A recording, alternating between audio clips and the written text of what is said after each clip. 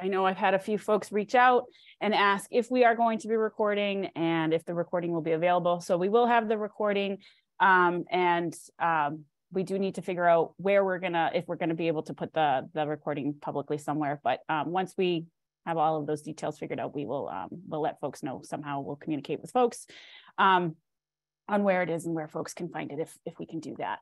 Um, so before we get started, let's just do some quick introductions. Um, my name is Taryn Lascola Miner. I'm the Director of Crop and Pest Services within the Mass Department of Ag Resources.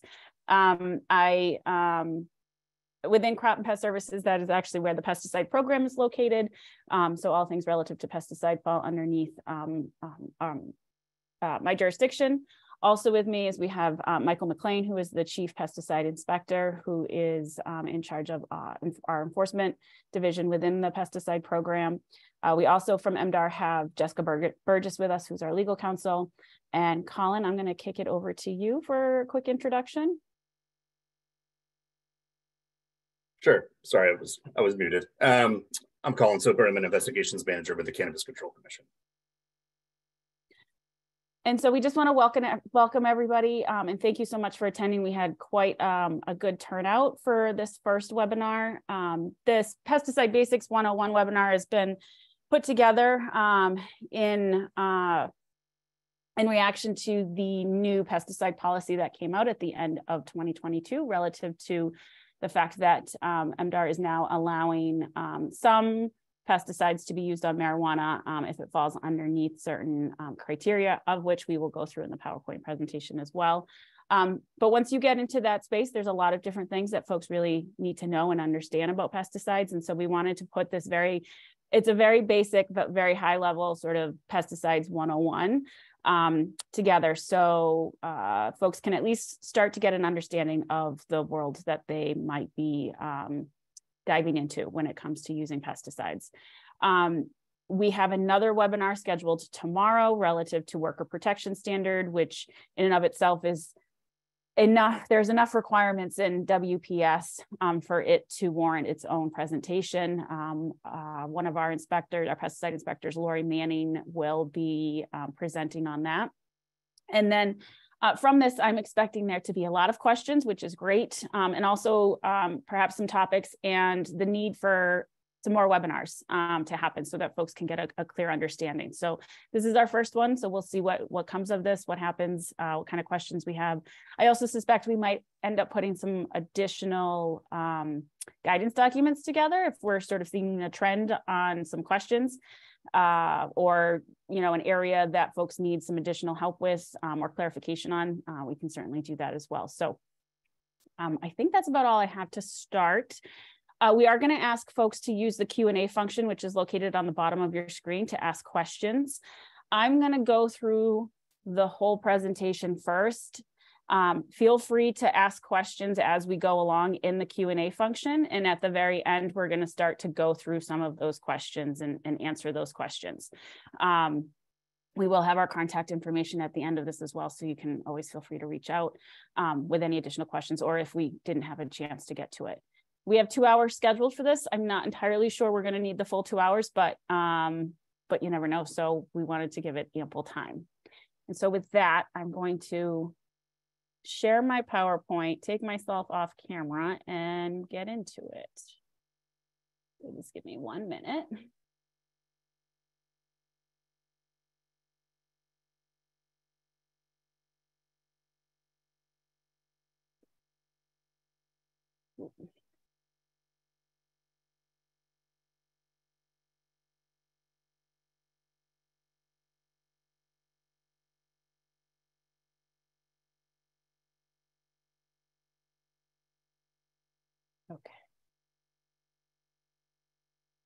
Mike, can you give me a thumbs up if you can see my screen?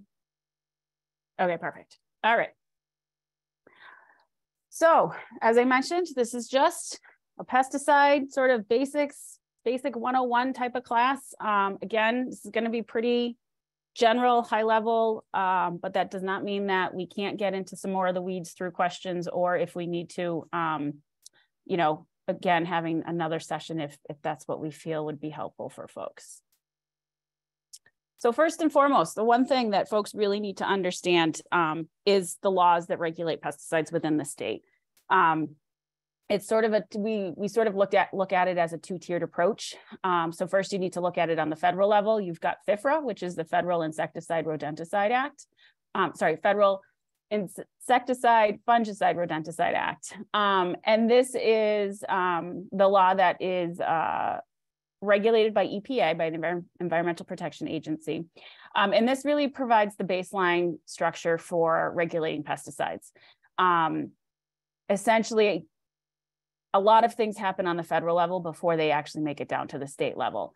Um, but what FIFRA does is it does allow um, the states to individually regulate pesticides on their on their own um, as well. So FIFRA provides the initial structure and then basically says, hey, states, you guys can take take this, make sure that you don't um, do anything that would essentially violate what we've already written. You can't be less stringent, but you can be more stringent if you like. So it starts with EPA, starts with FIFRA. And then you come down to the state of Massachusetts. And the law that state of Massachusetts works underneath is the Massachusetts Pesticide Control Act um, or MGL 132B. And then from the statute, we have our regulations, which are 333 CMR. And the way that I like to sort of explain sort of how statute versus regulation works is the statute provides the skeleton of pesticides in Massachusetts and the regulations 333 CMR kind of come in and fill in all those blanks um, and sort of make the full package. These can also, all of these can be found online. Um, I would suggest, honestly, starting with the state law um, versus FIFRA. Uh, we make sure to, to, to some degree that FIFRA is, is also being followed, but FIFRA is a little bit more complicated to sort of go through and, and find. Massachusetts state law and regs are a little bit more, uh, I mean, I think easier to, to read and understand and to go through. And those are the ones that we can speak directly to. If there's ever a question relative to FIFRA or anything in FIFRA, then certainly always reach out to us. And um, we have folks that we work very closely, closely with at EPA that uh, can help answer any questions that we have. So just some general things and uh, and sort of thoughts relative to pesticides when we're talking about pesticides um, and use specifically. So first you need to understand what, what a pesticide actually is. I think a lot of times folks just think it's something that's gonna kill bugs, when in fact it's a little bit more uh, complicated than that. Uh, 132B and FIFRA uh, actually define what a pesticide is. And a pesticide is a substance or mixture of substances that are intended for preventing, destroying, repelling, mitigating the growth of any pest and any substance or mixture of substances intended for use as a plant growth regulator, defoliant, or desiccant. Okay. And so what this does is this defines what a pesticide is. And when you look at pesticides, the definition of pesticide is an umbrella. And underneath that umbrella, you have herbicides, insecticides, fungicides, rodenticides, antimicrobials, um, all of sort of the sides basically good general rule of thumb is if you're using it to kill something or if it's claiming to kill something, it's a pesticide. Uh, we can get into some more of the nitty gritty um, stuff as far as registration and all of that. But the first general sort of easy rule of thumb is if you're using a product for any of those things that are underneath the definition of a pesticide, um, or if that product is making any of those claims, then um, that should be the first red flag that, hey, I'm, I think this is a pesticide um, I think I'm using this as a pesticide. And so now we have to follow some rules and some regulations. There are some exceptions to this, of which I think some of you all are probably, or yeah, some of you are probably familiar with, which are those 25B minimum risk products. Those products do fall underneath the definition of a pesticide, but they do not get registered in this they don't get registered. Um, and so we do have some slides here coming up about the registration of products so folks kind of understand what that process is. Um, so they are regulated, they're just regulated a little bit differently um, because there are some exemptions within FIFRA relative to that. And then um, also we have in there some pet products which then fall underneath FDA, but that's not really a not really relative to to this particular to, to what you all are doing, but um, just to sort of you know give you a, a big a big picture of things. The other thing that we always like to point out is what use of a pesticide actually is, is, um, and the reason that we do that is because I think the automatic assumption is, is that use of a pesticide just applies to the actual application when in, in fact, that is not true. Um, the use of a pesticide includes not only the application of a pesticide, but the mixing, the loading um, of the product, storage and disposal and transportation of a product. So all of those fall underneath the use of a pesticide. And the reason why we like to call this out is because licensing requirements, um, notification requirements, WPS requirements, all of those things come into play when you're talking about the use of a pesticide. And so it's really important to make sure that you are aware that um, it's not just about applying a product. It's a little bit more than that. So we'll talk a little bit about pesticide product registration. Um, this is extremely high level. The process for this is way more detailed. And I should say that when um, a product comes out, um, it takes years uh, and millions of dollars in order for something to be registered. So this is a very, very uh, sort of short and sweet version of what happens when a product gets registered. So say we've got a new product on the market that a manufacturer has developed that they would like to go out into the world and to be used. So say they have Taryn's pest product. Um, it's the next best thing. It's great. It's awesome. The manufacturer would like um, for this product to go out to be sold and to be used. So the first thing that it needs to do is it's got to go to EPA. And EPA is going to require a whole bunch of stuff. Um, it's going to require tox evaluation, risks assessments, research on the product, efficacy information, you name it, they're asking for it. And they're reviewing all of that information. Um, and from that, you know, they might ask for additional information from the manufacturer. They also do their own research on the products as well and look at other scientific studies um, relative to the active ingredient and what it does and how how it works and risks that might be associated with it and um, you know, and when we talk about risks, we're talking about public health, environmental risks, you name it, um, user um, user health as well. So what risks does the user, um, what risks are posed uh, to the user when they're using this particular product? So all of these different things are looked at. Um, and all of these different things are actually taken into consideration when they are working with the manufacturer relative to the labeling of the product. So a product comes on the market or a product comes along EPA's desk. They ask for all of this information. They look at all this information. Um, EPA also has to look at this with the lens of will this comply with other federal laws that are in place? Um, so it's not just in a vacuum. There's other the Endangered Species Act, um, the Food and Drug Act. So there's a lot of other things that EPA actually has to look at this information and sort of work it against other um, federal laws that are in place. So if this product comes along and they take a look at it, they do all of the things, they decide that they're going to register it. Another big piece of this is the labeling.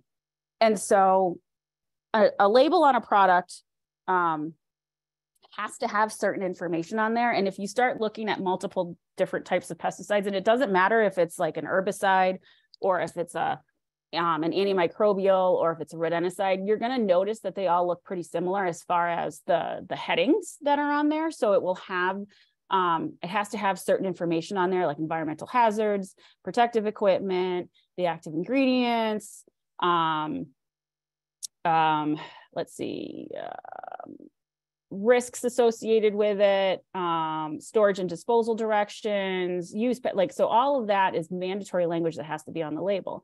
What I always like to point out is that what is on that label is relative to the information that EPA has about that product and the risks that it might pose. So for example, if you're looking at a product and it says that you should be wearing gloves, that's because there's a potential, there's a risk for um, dermal concerns if you're using it.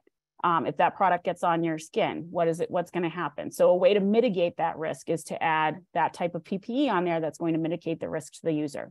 And so labeling is really really important. Um, there's a reason why we say the label is the law. Um, but um, the labeling comes directly from the scientific information that has been provided to EPA through the registration process. Um, the other thing that a product will get on the label um, is what we call the EPA registration number. You're going to hear um, us use that a lot because that is essentially the social security number of the product. You might have um, a product that or brand that has multiple versions of it, but they each will have a different EPA registration number. So um, there might be, say, Taryn's pest control that is a liquid. And then there's Taryn's pest control that is a wettable powder. And then there's Taryn's pest control that is, you know, like uh say Taryn's Pest Control XL. So those are different products and the labels are going to be different and they have different EPA registration numbers. And the EPA registration number is the most important number on that particular on that product. Um, because that links directly to the label, which drinks, which links directly to how that product should be used. Um, also, this is a really good telltale sign um, if you're trying to figure out with whether or not the product that you're using is considered a pesticide. So anything that is uh, a pesticide will have a registration number on it. Um, and it's right there on the label and it says EPA registration number on it or EPA reg number, um, and it gives you that number. You'll also see things on the label like the warning signals, which are indicative of some of the risk associated with that product. And then last, um, EPA will make the determination as to whether or not a product should be general use or restricted use. Um, if a product is deemed general use, that class that classification can be changed down the line, which we'll get to in a minute. If it's deemed restricted use, that classification will follow that product to the state and will remain restricted use. Um, an EPA will restrict a product for a number of different reasons, and there, there'll actually be a section on the label that will say restricted use. It'll say this product is restricted use for, and it usually lists out if you know what the concerns are with that particular product. So we've got this product, we've got Taryn's Pest Control, it's been registered by EPA. EPA has given its, you know, um, it's approved the label, it's got a registration number, it's good to go out into the world. So now the manufacturer has to go to every state that it would like this product to be used. Um, and in Massachusetts, um, it would come through the pesticide program. And um, what happens here in Massachusetts is that a product is registered through an entity called the Pesticide Board Subcommittee. The subcommittee is made up of five individuals, of which MDAR sits on one of, um, takes one of the seats. And they review the products and then they make the determination as to whether or not it should be registered in the state. They can also put further restrictions on a product. So when I said, when remember when I said if it's if the if EPA registers something as general use, it can be restricted further when it gets to the state. Well, this is when that would happen. And it could be for a number of reasons why Massachusetts would decide to restrict a product. Um, we have some, the, the subcommittee has some standing policies in place. So for example, anything that has more than 20% 2,4-D in it will automatically be state restricted. Um, the latest uh, restriction was relative to neonicotinoids, where if there's a product that has a neonicotinoid in it and it has certain um, sites on the label, it will automatically be state restricted. And so um, the state can then go ahead and, and um, restrict that product further if it if it deems necessary for a number of different reasons. Um, but once that product is then registered by the by the federal government and by the state government, and it's good to go, then it's good to go out into the world and it can be used in Massachusetts. Um, the only stipulation is, is that it does have to renew its registration every year, but for the most part, that's, that's typically not an issue.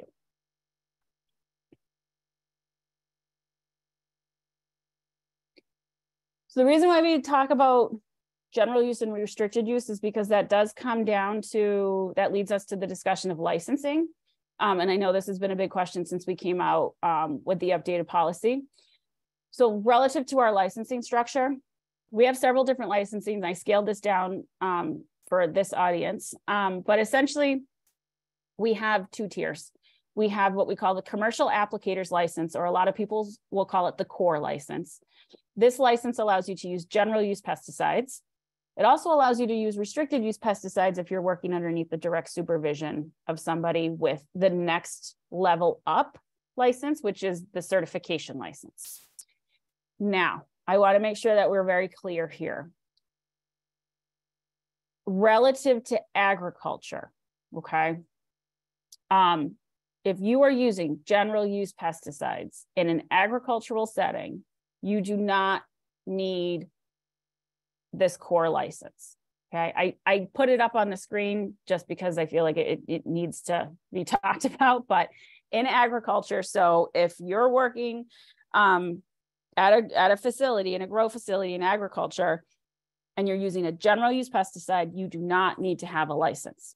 Okay. The license requirement kicks in when you start to use restricted use pesticides. And that's why this private certification license is highlighted here. Okay. That is the license that you would need for agricultural use of a restricted use product.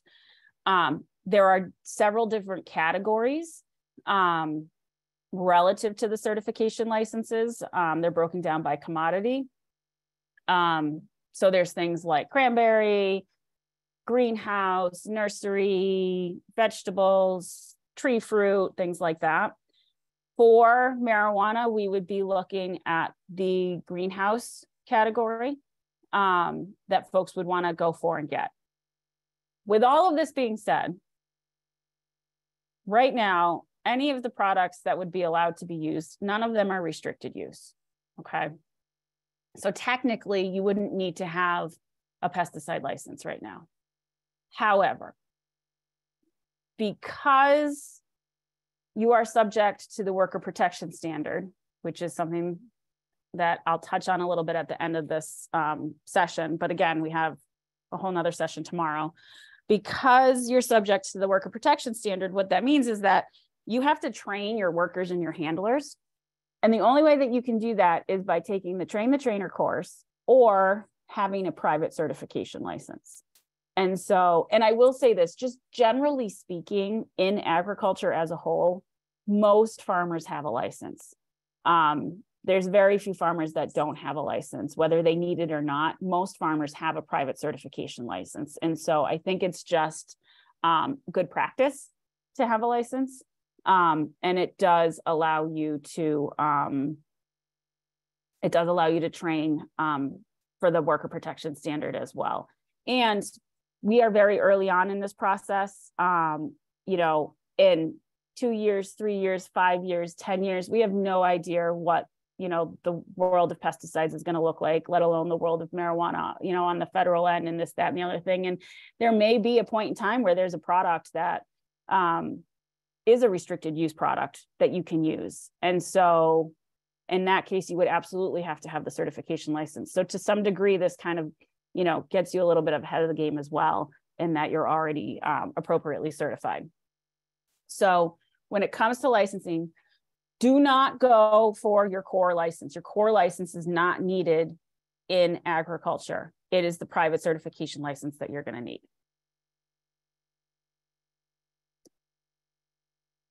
A little bit about the exam and the licensing process.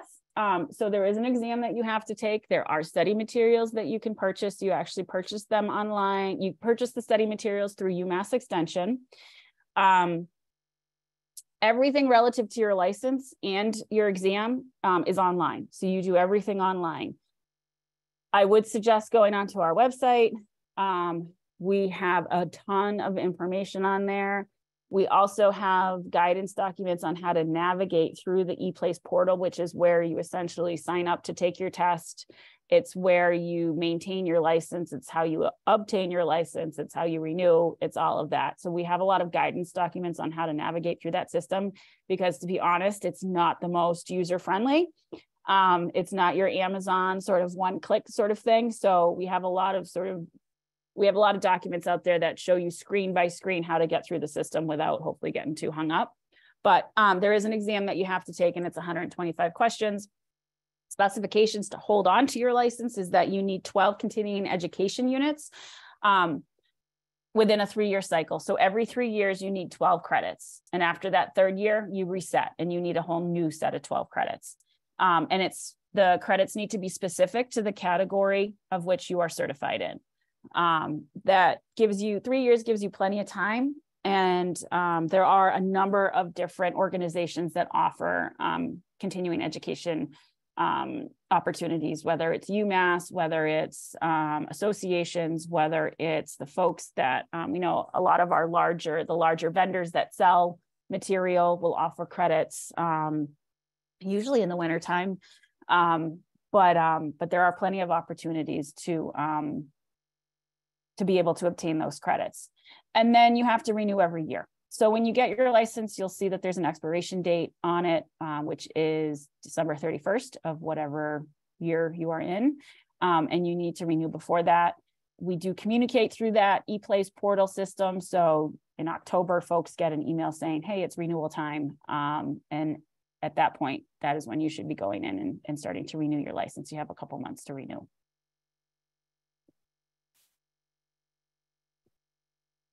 So let's get into the nitty gritty and the specifics of what you all can do when it comes to product choice. And again, this is very high level. I did look at some of the questions that folks were submitting when they um, registered for this. Um, so I will first say this, we do not have a running list, okay? What we have done is we have provided guidance documents um, and sort of the specifications as to how to determine whether or not you can use a product.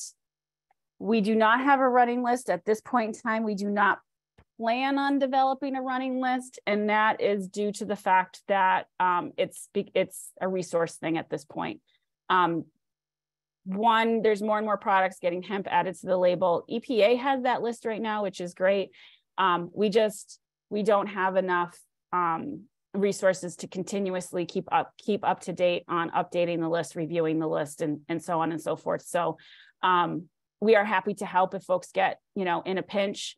But if you're going to provide us a list of like 25 products for us to review it's it's going to take a while for us to get there. So the expectation is is that folks go through um, sort of make sure all the boxes are checked off and then um, know that you're able to use it and, and again if there's folks are getting hung up on a particular spot and uh, as far as being able to make the determination. Let us know. I mean if we can provide any other sort of guidance documents and information that will help folks move along through this process quicker or make sure that they're pretty you know they're solid on the product choice then then just let us know and, and we're happy to take a look at that to see what we can do to help. Um, so when we're looking at what products we are allowing to be used on marijuana first and foremost product has to be registered by EPA and by the state of Massachusetts. Okay. Second, the product has to be labeled for hemp and tobacco. Okay. And that has to be actually on the physical label. Okay. Um, the active ingredient has to be exempt from a food tolerance. And then it cannot have any days to harvest on the label, requirements on the label. Okay. So you decide you need to use something for a pest problem that you have. So what do we do? Step by step. Do you need to follow these steps? No. I we just I did this because I thought this would be helpful for folks. If you want to go out of order, that's totally fine. Um, but generally speaking, um, step one, determine if the product is labeled for hemp. That is first and foremost. I mean, that is the whole reason why we we decided to change the policy um, is because we started to see products uh, come along that were that had hemp on the label. How do you determine if the product is labeled for hemp? One, review the label. Hemp has to be on the actual label. Two, like I said, EPA right now has a website um, that has all of the products that have hemp um, that have been labels that have been updated to have hemp on the label on their website. I do not know how much, how long they're going to keep that list up there. Um, but right now it's there. It's a great tool. So go for it and, and use that as a base to start. But then also, once you get the product, make sure that hemp is on the label as well. Once you've gotten that box checked, step two, see if it's labeled for tobacco. And that's just a simple um, label review. Okay. We, because folks have asked this, we do not right now, we do not have a list of products that are labeled for tobacco. And, and by we, I mean the state of Massachusetts MDAR. We do not have a list of products that are labeled by labeled for tobacco. We do not have a, a list of products that are labeled for hemp. Okay. Um, so you're going to need to determine that by taking a look at the label. Three, determine if the product is registered by EPA. That's simple one if you've already if you've if you found the product originally from going onto epa's website well then it's registered by epa but if not if you found it in some other way shape or form look at the product label and see if there's an epa registration number on it. If it's got an epa registration number on it it's been registered um, it's been registered by epa then you need to check to make sure it's registered with mass we have um, on our website we have a couple of different databases that you can go into. One i think i think the most effective one and easiest one to use is the kelly registrations website um, which you can get to through our website where you plug in the epa registration number and it will tell you whether or not it's registered. Step five determine if the active ingredient is tolerant exempt we did develop a guidance sheet for this, um, which lists out the active ingredients and whether or not they're exempt from tolerances. Also, the tolerance exempt list is actually found within FIFRA.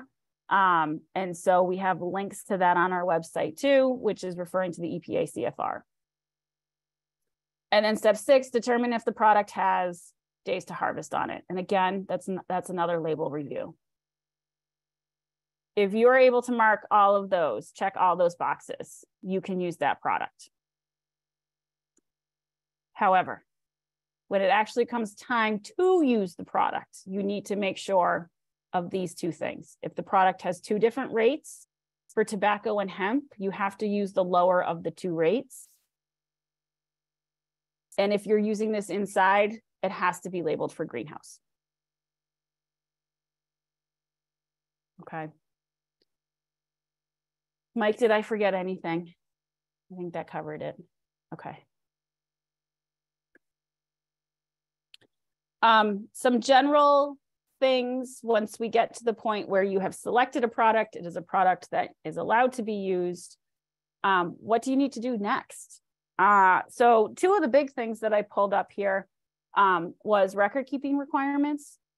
So under 333 CMR section 10, 1014 specifically, we do have record keeping requirements. And so place of application, um, which field location, commodity, room, basically you need to identify where you're making the application, um, date of application, the product's name, the EPA registration number, how much of the product was used, the dilution rate, the target pest, the method of application, and the person's name that made the application and their license number if they're licensed.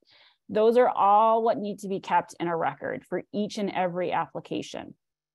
On top of that, there are um, requirements that fall underneath the worker protection standard for record keeping that we usually just lump in with the general record keeping requirement, which is the restricted entry interval or the REI, the active ingredient of the product, and the time of the application. Okay. Um, Lori tomorrow we'll get into more about what to do with that information when it comes to posting it and making sure folks know about the application. These records need to be kept for, well, the state records need to be kept for three years. The WPS stuff needs to be kept for five. So generally speaking, we say keep these for five. It just makes it easier.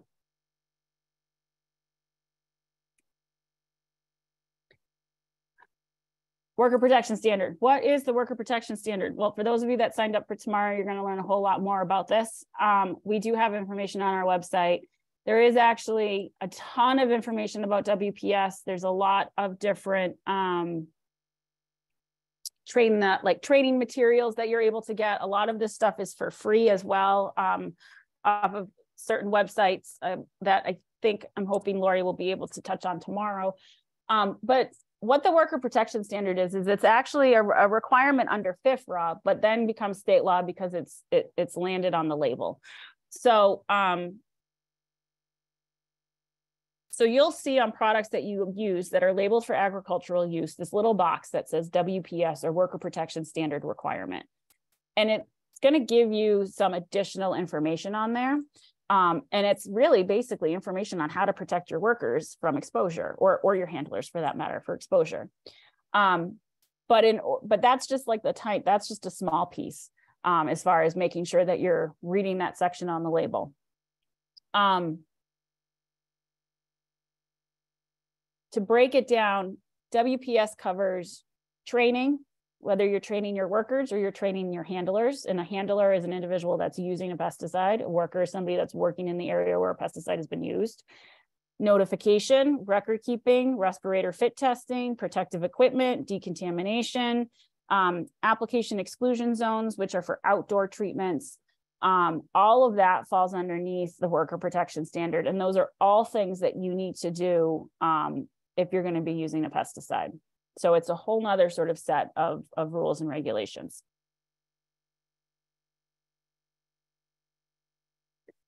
Did just want to talk about some pesticide storage stuff. Um, you know, generally speaking, we want to make sure now that you're in the world of pesticides that you're storing your material properly. These are just some general, um, general simple things that we would like to see folks do when it comes to a storage area. Uh, one, you want to have it separate, as separate from things as you can. Uh, you want your solids over your liquids. You want secondary containment. So if it's on shelves, really good idea to put them in some sort of either make sure those shelves have some sort of um, like lip or wall around them, or you put them in like a plastic container. So if something spills a leak or has a rip in it, you don't have pesticides spilling all over the place, all over other things. Uh, we recommend metal shelves over wooden shelves. Again, if there is something to spring uh, a liquid that was to spring a, a, leak, wood can absorb that and then you have an issue versus metal, um, which can be, you know, wipes down. Um, an inventory sheet of what you have, what's coming in and what's going out. Um, it's always a really good idea to make sure that you're keeping track of what you've got. Uh, labels and SDSs, uh, labels are on the product. Labels should never be taken off of the product. Uh, the label must stay intact with the product.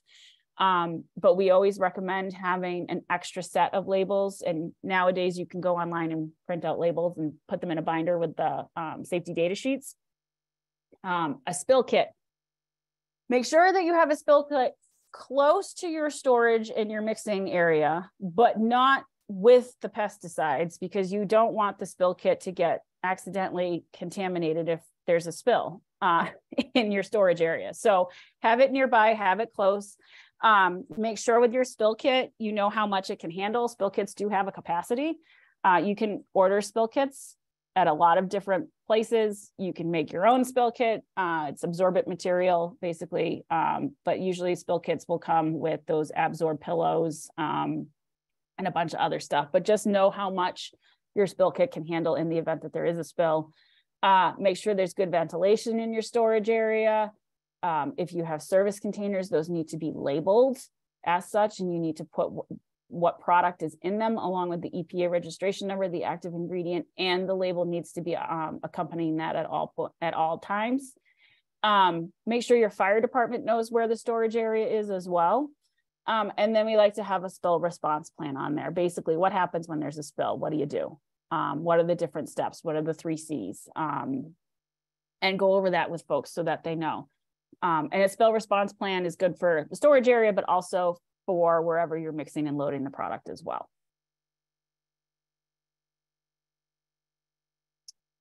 And I think that was my 25 cent tour of pesticides 101.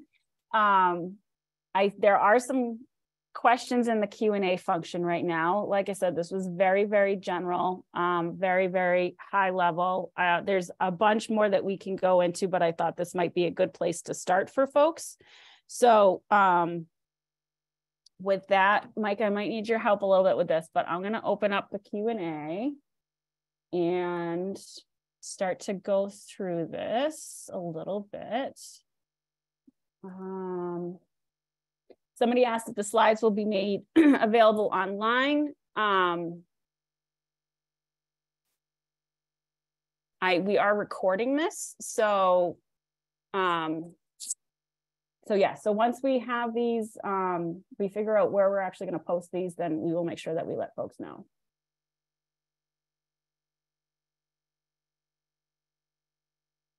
Um, let's see. What was, okay. And how was Uh, Are plant accelerator pesticides? Okay, so I think that is a good question. Um,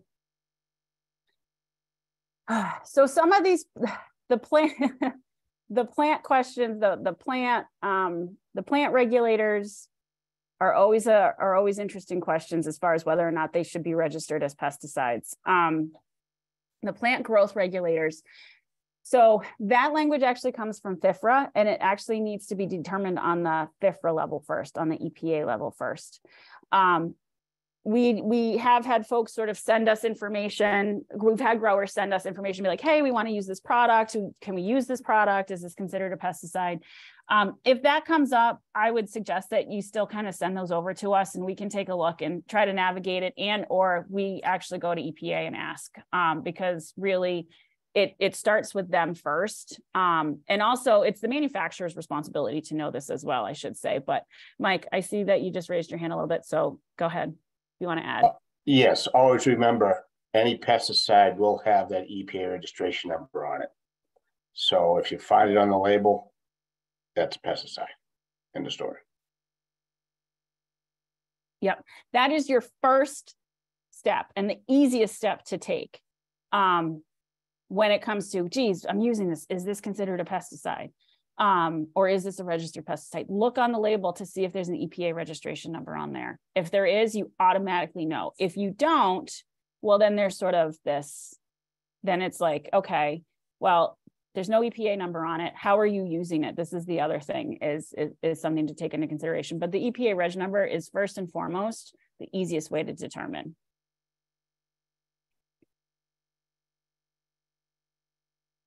How is a plant growth regulator defined?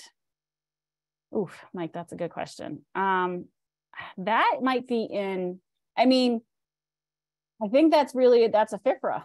That's a FIFRA question, really. Um, and again, to so it again, the manufacturer that's manufacturing this product and selling this product and advertising this product is the one that's responsible for determining whether or not um, whether or not the product needs to be registered with the appropriate entities and epa is one of them.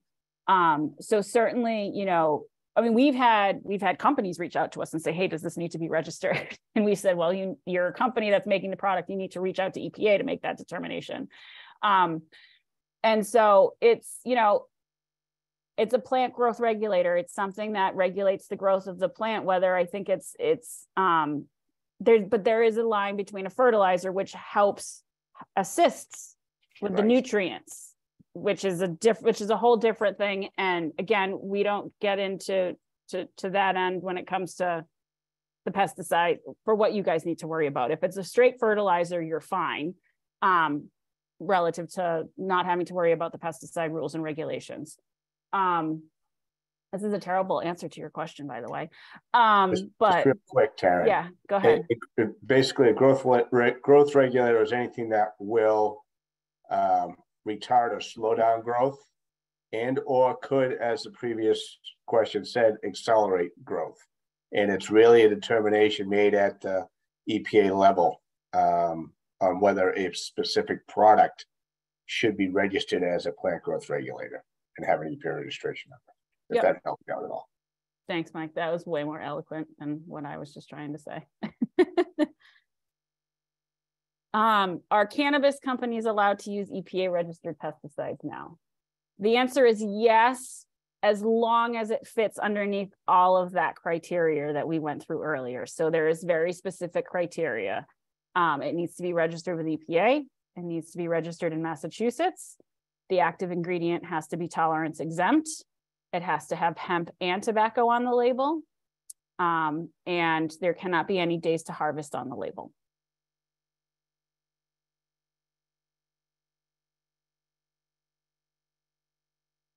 Are pesticides the only products that will have an EPA registration number? Yes.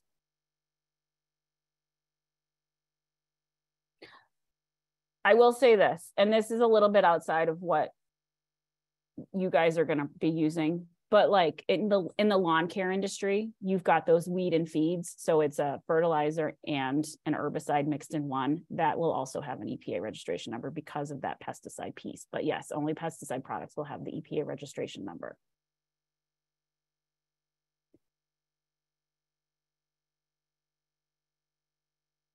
Does Massachusetts adopt other states' private and qualified supervisor licenses, or do I need to retest in Mass? You will have to take the Massachusetts test. We do not do reciprocation when it comes to our licenses.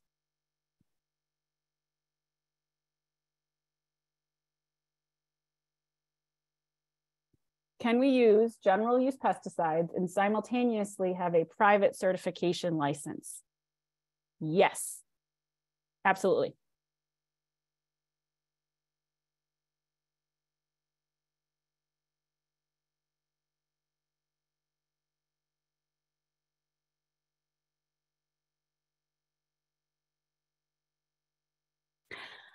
So I'm just going to answer this one. So we have to break the law before we know if it's allowable or not.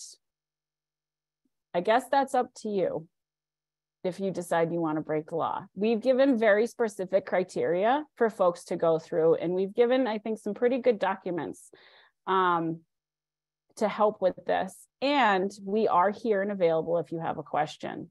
So um, if you decide you would like to use a pesticide, then you are responsible for ensuring it it is the correct product to be used.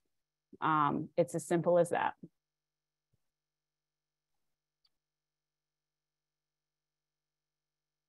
Are these requirements specifically for direct application on the plants? These requirements are for, so everything that I just went through today relative to um, licensing requirements, record keeping, um, storage, all of that, that's for any type of application of a pesticide. So if you're using a pesticide, it doesn't matter what you're applying it to. All of 132B, all of 33CMR, and all of FIFRA come into play and you have to follow. Um, the specifications on the product choices is for using um, is is if you're going to use a product on the plant. So you can't use anything on marijuana unless the product falls into those very specific criteria. I hope that that clarifies that.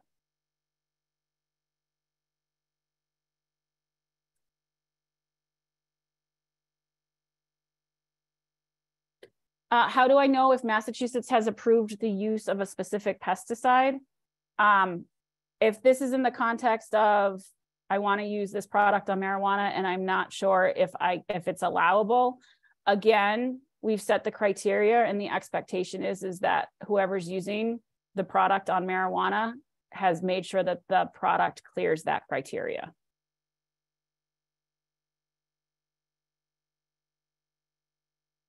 Explain tolerance exempt. Is it yes or no to this? So tolerance tolerance exempt is something that happens on the FIFRA level, on the EPA level, where they'll look at, they have a list of active ingredients that essentially are tolerant or food tolerance exempt, meaning that they haven't, meaning that it doesn't, the active ingredient doesn't need to have um, a food tolerance set to it which leads to sort of like a lot of times like your days to harvest. So when you make an application on something, um, a lot of times there's like days to harvest um, to let that product be able to break down essentially. And there's certain levels that are of a pesticide that may or may not be allowed on a particular commodity.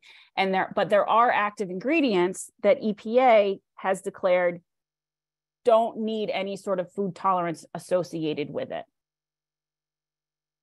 So hopefully that describes that, that answers that a little bit better.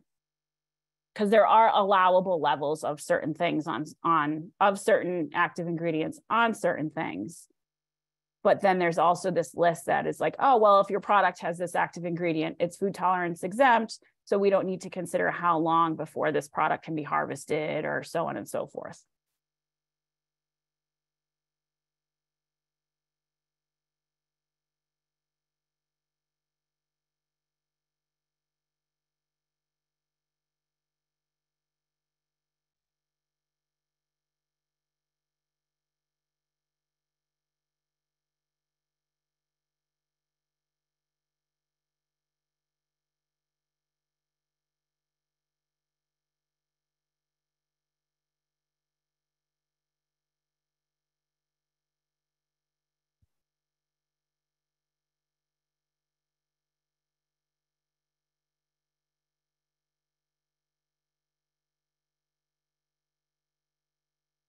Can you please explain in more details about the CEUs? Are the credit hours from academic institutions? They can be. So basically how a CEU works, a uh, continuing education unit works, is that um, if somebody would like to offer a credit um, for pesticides, then there's actually a form that we have online that folks fill out and they send it into Trevor Battle, who's um, our program coordinator over there, he takes a look at it. Um, the class has to meet certain criteria in order for it to be um, accepted to be offered uh, for a pesticide credit to be offered. Um, that criteria is within our regulations. But if that class um, meets that criteria, whether it's a college course, whether it's an association that just wants to have you know classes and they want to talk about some sort of pest issue that's up and coming and they want to offer a credit for it or whatever, um, that application goes to Trevor. Trevor reviews it. If Trevor accepts it, then he lets that individual, the entity, know, and he actually sends out the paperwork so that when you do take the class, um, you actually get a piece of paper that is your quote unquote credit. Um, and then um, you hold on to that until it's time to renew your license and then you upload it when you renew your license. So the the ceus can come from a number of different places um, and they can cover a number of different topics. But uh, in order to offer those ceus it does have to go through um, mdar first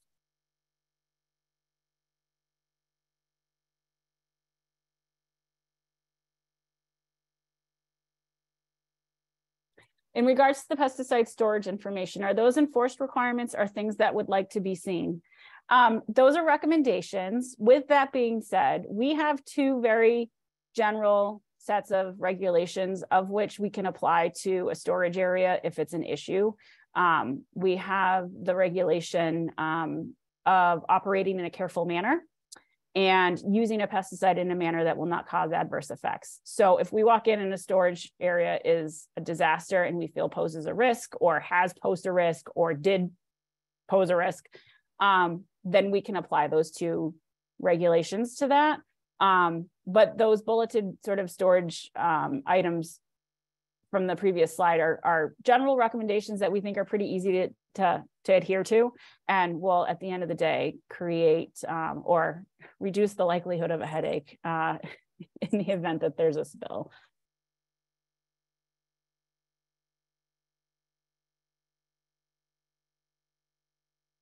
How can this information apply to organic growing facilities? Um, I guess I'm a little confused on the question. Um, we don't regulate organic, just as a, just so folks know. Um, something, a product can be marketed as an organic product and it can still be a registered pesticide and it still falls underneath all of the same requirements. Um, but the pesticide program does not dive into like a certified organic or anything like that. If it has an EPA registration number on it, it's considered a pesticide and it falls underneath um, all of our rules and regulations.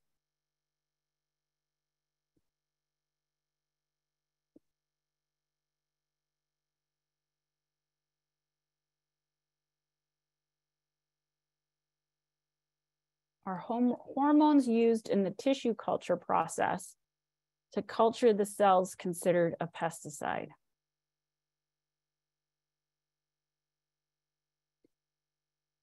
Interesting question. I think that's an EPA question, right, Mike? It, it, it goes back, it, it, it's more or less goes back to the simple, um, simpler answer or simpler Answer is, does that product hold an EPA registration number? And if so, then yes, it's a pesticide. Um, but there's also times, and this is sort of territory kind of unventured, um, where, you know, if you're using hormones uh, as growth regulators, um, and it hasn't been, in a sense, looked at for that purpose or use, you could be potentially, you know, using something that is for pesticidal purposes. I don't know if we really want to go into that, but um, ultimately, if if it's going to be a growth regulator, you want to make sure that it, it is registered or labeled for that use.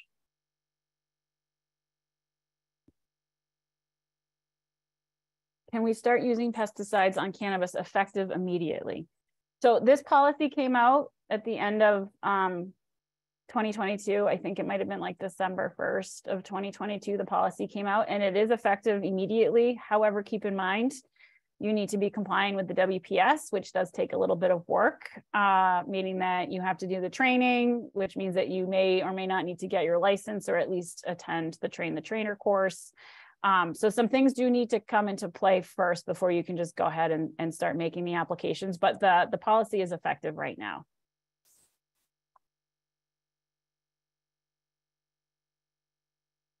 What label says what crops a product is applied for? The MSDS, the EPA.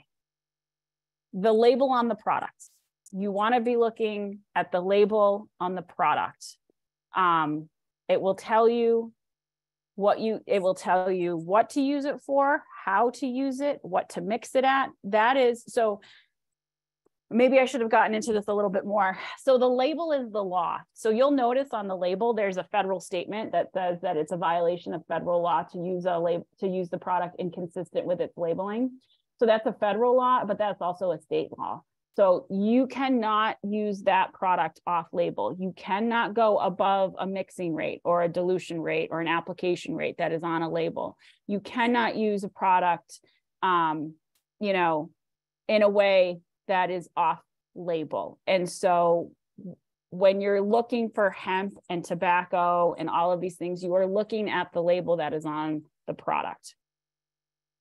And EPA is the one that essentially approves the label.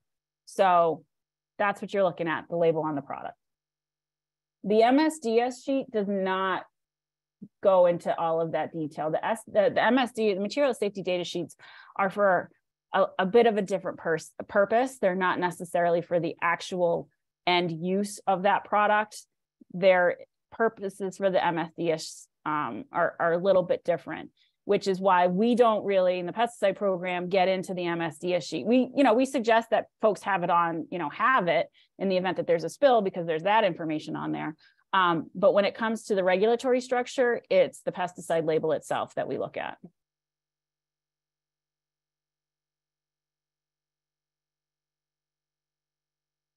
All right, Colin, this one might be for you. Um, how would the CCCs and by extension licensed ITLs testing requirements for pesticides be affected by the new guidance from MDAR? I will say this, I mean, we work closely with the CCC, obviously, but Colin, I'll, I'll let you go from there. Yeah, I, I, there seems to be no change as far as as far as I see, um, because certain pesticides are now allowed uh, they do have strict criteria, and those active ingredients are not part of the standard nine that are tested at the ITLs currently. Um, however, the pesticides that you can use, the caveat to this is uh, they have to meet, the label has to meet the criteria of permissible pesticides to be used on cannabis within the state.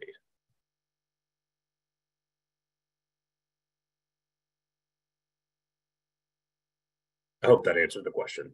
Uh, do 25B products have to fit the same checklist as non-25B products? So right, no. So the 25B products are still allowed to be used as they always have been.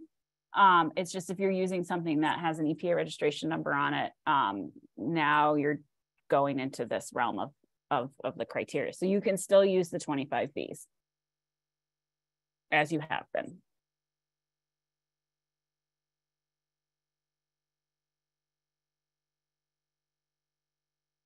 Are you expecting people to send you a list of pesticides they intend to use? Or is determination that the pesticide passes the full list of requirements enough to proceed with using the product?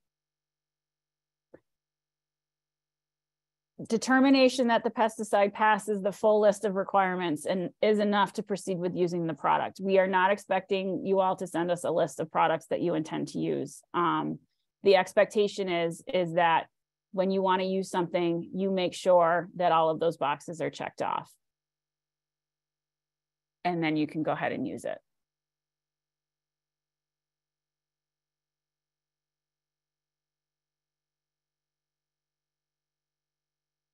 Can we use more pesticides other than the 25Bs if they check all the boxes on those slides? And the answer is yes.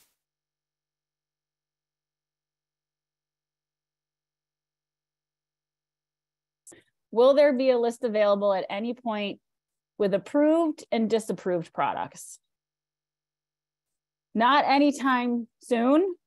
I, I, I never like to say, I don't, I never want to say never. Um, we will never have a list of disapproved products because that is way more than what would be approved at this point and difficult to keep up with. Um, right now, we will not have a list. I never rule, I don't rule anything out, but right now there will not be a list, but you never know in the future. But right now there won't be.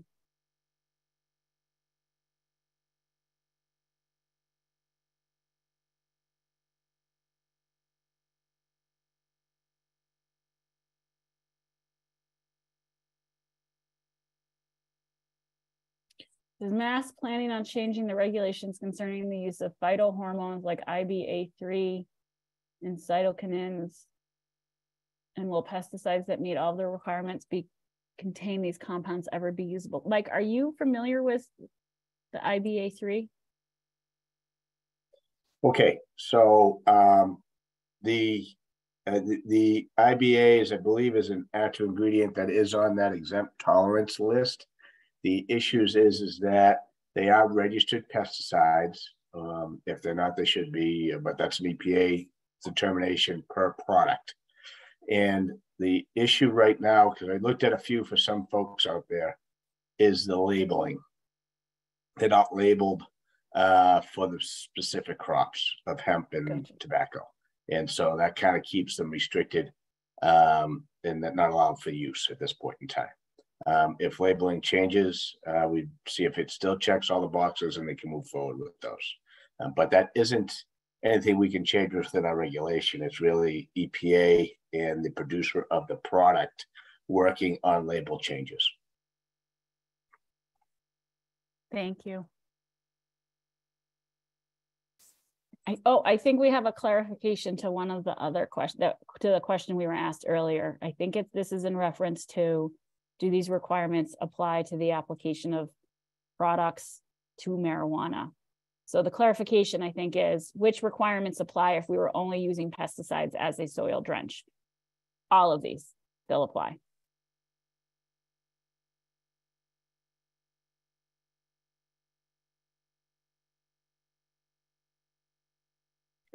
is an additional sticker with tobacco and hemp application rates placed on the product by the manufacturer acceptable?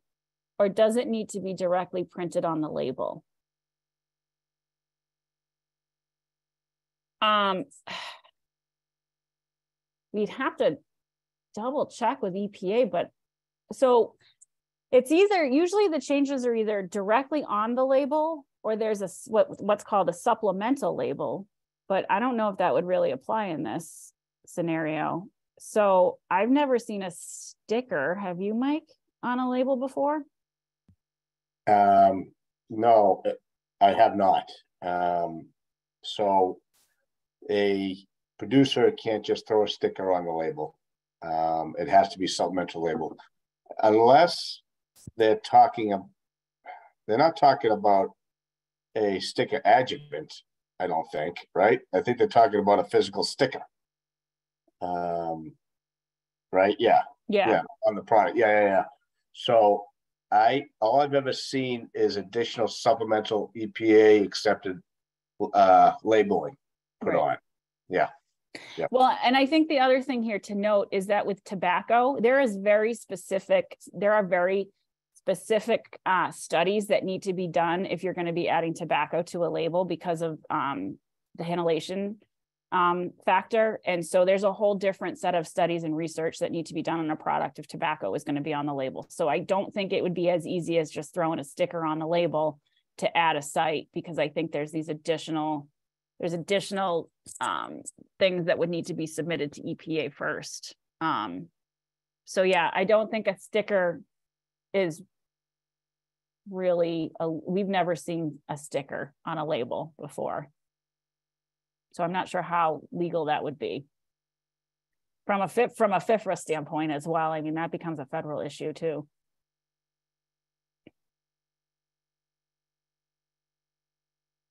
Can I use diatomaceous, diatomaceous earth as a pesticide? It is listed under 25B under federal law. Um, so I believe there are some DE products that actually do have EPA registration numbers on them. Um, so you would have to, so in which case they wouldn't be 25B if it's being used as a pesticide. Right. The only thing I want to add is if that, that I mean, if they're uh, so I've seen DE products registered, as Taryn has said. I've not noticed DE products in the 25B realm, but that doesn't mean it ain't out there, I guess. So it would have to be an actual labeled 25B product. You can't just go buy bulk diatomaceous earth and use it for pesticidal purposes. And I should say, when you're looking at stuff, um, the inerts in a product also have to be on the 25B list in order for it to be classified as a 25B. So there's active ingredients and then there's inert ingredients and both, all of those need to be um, on the 25B exempt list in FIFRA in order for it to, to qualify not for registration. So I think Mike makes a good point here, though. I think that we just need to flag is you might be able to go buy a bag of diatomaceous earth someplace. Um, but you need to use if you're using it, you can't just buy a bag of DE and use it as a pesticide. So this is the second piece that comes in.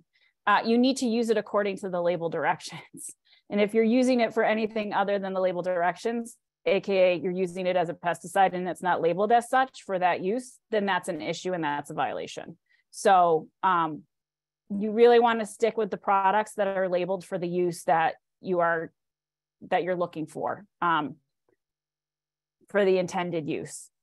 Um, there are lots of DE products out there that are registered um, that are that have that are meant specifically for pest control for one way or another that's what you should be using, not just a random bag of DE that is doesn't have that's labeled for whatever other uses DE can be used for.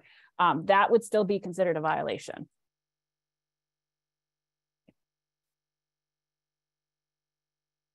Are EPA registered cleaning products also considered pesticides? Yes, those are considered antimicrobials.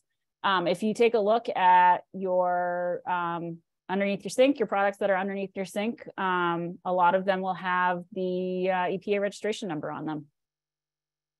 With that being said, there are a lot of 25B products that are cleaning product, you know, that that that are cleaning products, but um, like your Lysols, your disinfectants, all of those types of things, um, the the products that are claiming they're making, you know, kills 99% germs, those are registered pesticides.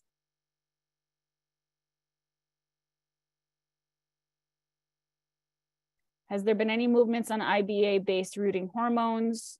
Are these still illegal to use on cannabis in mass? Mike, I'm going to kick that one to you. Uh, it's the same answer from the previous IBA one. Um, okay. So they're still not labeled. I haven't found any that have been labeled that have the appropriate labels to meet the um, to meet the criteria.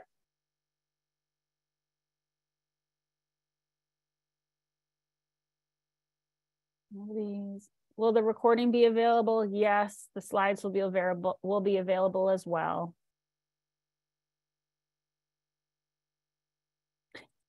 So I just covered this, but we'll reiterate this because this is really, really, really, really important, everybody. Um, if a product is not registered with the EPA and it is being used as intended, is it allowable for use? And the answer is no.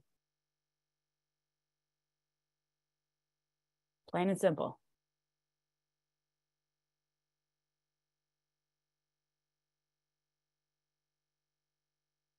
Same answer for the other IBA stuff.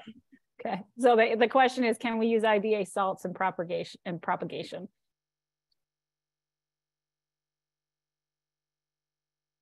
What are the rules regarding the use of surfactants? Mike, you want to take that one?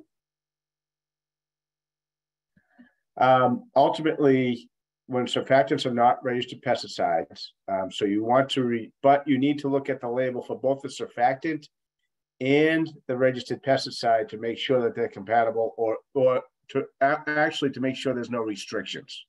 Oftentimes, it won't tell you um, not to add a surfactant uh, uh, not tell you that you can add a surfactant. Often it tells you you cannot.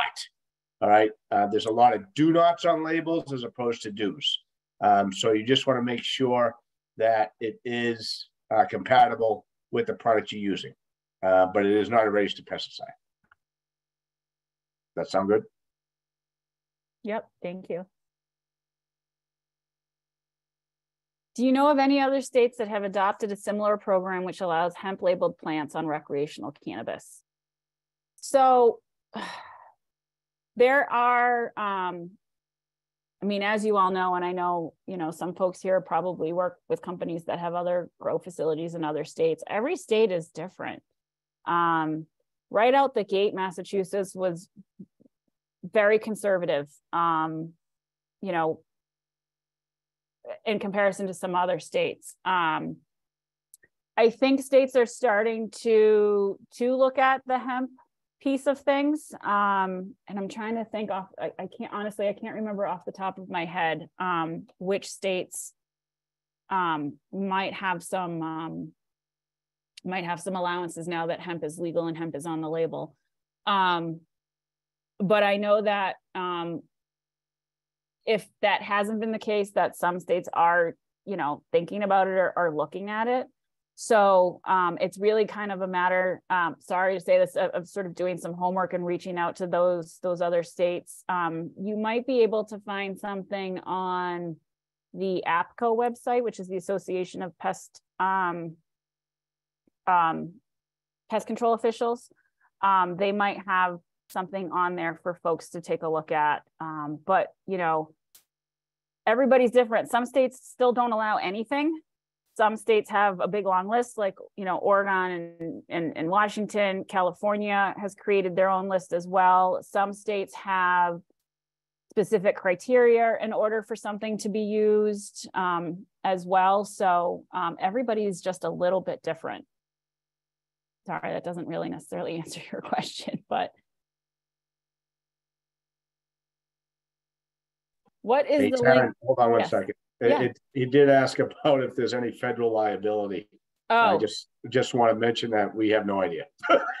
yeah, I mean, the federal Yeah. piece is the federal piece. That's a whole nother ball of wax that, you know, we can't really, you know, it's not legal federally. So as you know,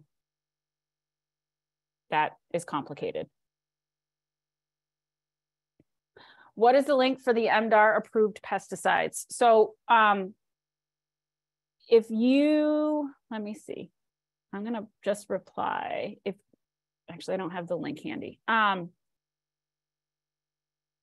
what I will do, if you just Google MDAR pesticide program, it brings you to the pesticide programs made page, scroll all the way to the bottom and there's a section for cannabis.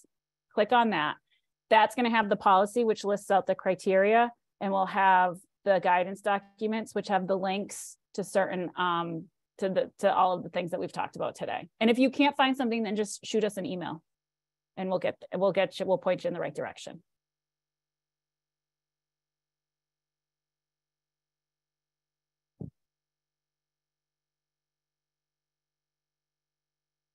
Are these policies enforced by EPA or MDAR? That would be MDAR. This is a state policy. This is the state where we're looking at state law and state policy here. So it's MDAR folks that go out.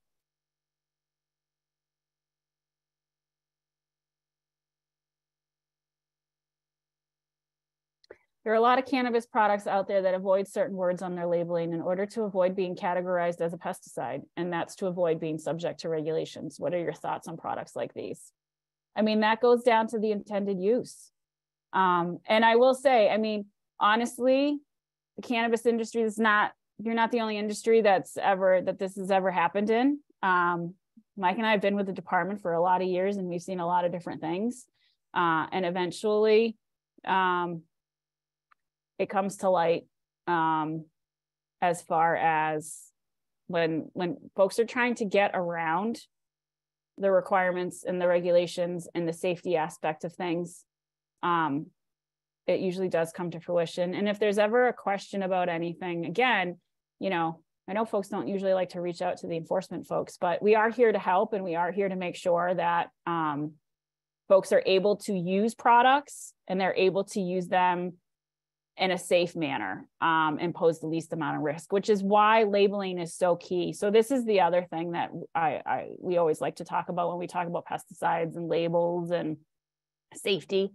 We never say that a pest like a pesticide has a job to do and it's to kill a pest. And so that label is written in a manner such so that if you use that product according to label directions, you are posing the least amount of risk to yourself, to the environment, and to public health.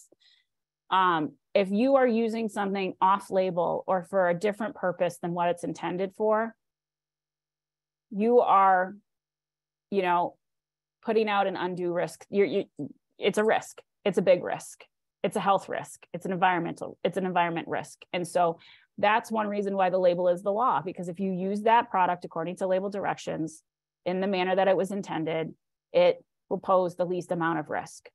Um, and so when you're taking products that have a label on it and they're being kind of gray with the label so that it doesn't have to be registered, but it's being used in another manner that's in, like to kill a pest, you, there's a big risk in that. There's a real big risk in that. There's a risk in that for the manufacturer, and there's a risk in that for the person that's using it and knows that. Um, there's a real big risk in that.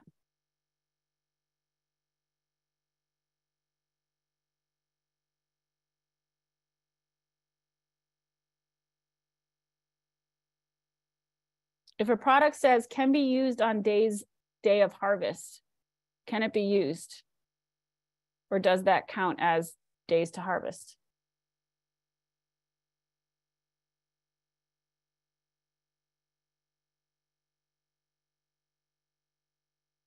Um, I would say you can use it. Usually it'll say three days to harvest or days to harvest three or days to harvest five. If you can use it the day of harvest, then you can use it.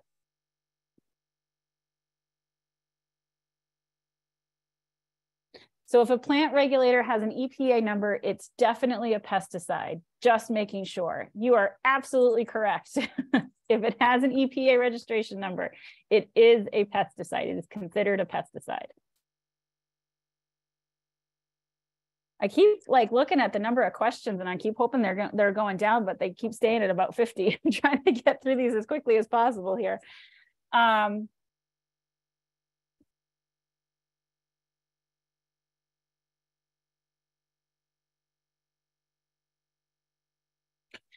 Oh, okay. This is a good question. If we're using a product that could be considered a pesticide, but not using it on plants as a pesticide, like for example, using sulfur as a fertilizer, does it still need to be registered as a pesticide within our facility?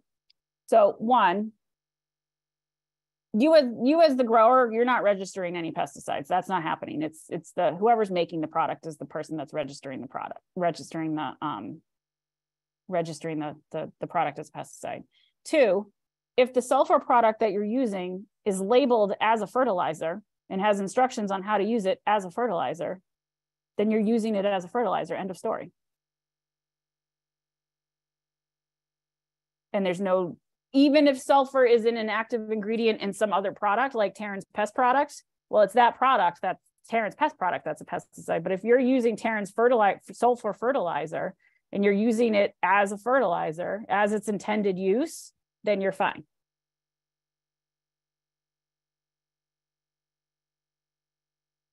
Are there any regulations for predatory mites? Not by us. Nope. Those are considered beneficial insects and we do not register those.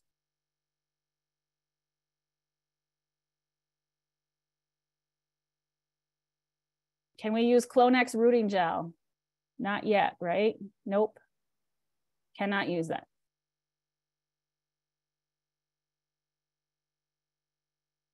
Are there any specific label requirements to a 25B product that will restrict use in cannabis? Um, no. Um, so the 25B products, I'll give you a little bit of background on the 25B products. So the way that the 25B products work, they're called minimum risk pesticides. They actually are pesticides, but they're not registered. And because they're not registered, there's sort of all of these things that it's just a different path that these products take. So in FIFRA, there's a list of active ingredients and a list of inert ingredients. And if a product comes into play that all of its ingredients, you know, fall underneath both of those lists, they're considered a, a 25B minimum risk pesticide and they're exempt from registration. With that being said, uh, and because they're exempt from registration, they don't have to go through a lot of the stuff that a typical, quote unquote, typical product would have to go through. Um, but because of that, there are restrictions on how these products can be labeled. So, like these products can't make any health claims. Um, there has to be certain claims on the label. Um, I mean, it's the, the requirements are minimum, but you'll notice a 25B product may or may not look like a registered product label. And that's because their labeling requirements are totally different. What we're finding is more and more of the manufacturers that make your traditional pesticides are also making 25B products. And so in that case, you'll see the label following, you know, similar criteria, but you'll, you know, you might have like Mike's home, you know, Mike's home remedy company, company, I say home, you know, that, that, that's got two products that he's dabbling into and, and, and he's, you know, trying to get out there in the world and sell and he qualifies as a 25B and his label might look totally different. Um, and so there isn't any specific label requirements on a 25 that would restrict its use on cannabis, but um, you know, obviously read the label, follow the label directions, um, and just know that they are handled differently um, than your other than your products that are registered.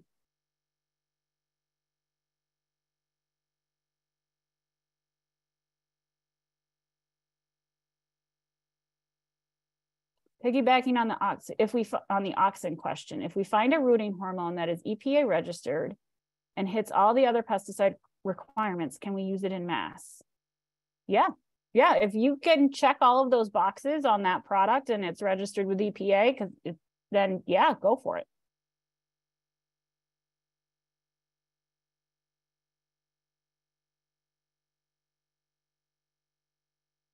Uh, I think this is a question for you, Colin. How will the new regulation on bacteria products affect cannabis microbial testing on flower?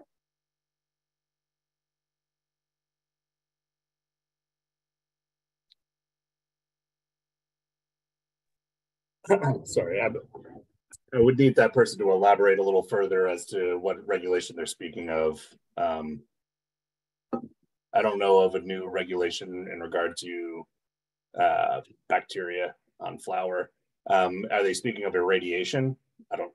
It would. I, I need that person to elaborate a little more on that question to to give a definitive answer. Okay.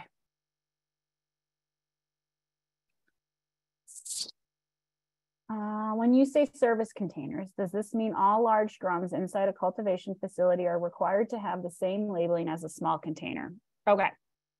So typically when you're buying products, it's very rare that we see like 50 gallon drums 30 gallon drums of a pesticide. It's it's rare that we see that. Um but whatever you're purchasing your product in in whatever container your product comes to you in there is a label on that product okay? What sometimes folks like to do is they you know they they like to put it in a um in a smaller container because it's easier to mix and so we call that the service container. So say you do have a 30 gallon container of something and you want to put it into a five gallon container because it's easier to pour into whatever your method of application is and mix that way. That five gallon container would have to have the active ingredient, the EPA registration number on it, um, the product name, and then there needs to be a copy of the label um, accompanying that five gallon container at all times.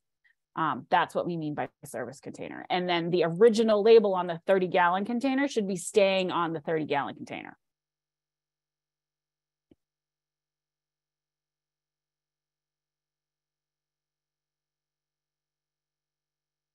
Is there a way for us to verify through MDAR that a specific pesticide is appropriate and approved to be used with cannabis? So again, we, you know, we don't have a list. Um, we're setting the criteria for folks to use. If folks have a question on something, please, you know, we, we are here to help um, in whatever way we can. But again, if you're going to send us a list of 20, it's going to take us a long time to get back to you on that. But if you've got questions, if you find something and you're not quite sure, just send us, it's fine to reach out to us and ask. Um, just know that there may be a little bit of a delay. I am gonna, whether it's one, there'll be a very big delay if there's 20, but if there's one, um, you know, we're we're happy to help and, and sort of navigate through this. We we want folks to be able to, you know, use this stuff appropriately and legally. Um, so we are here to help as much as as much as we can, um, but we do not have a list right now.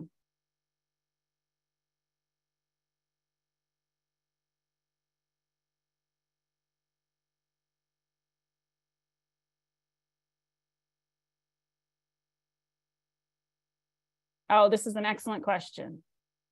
Um, what if a product meets all the criterias?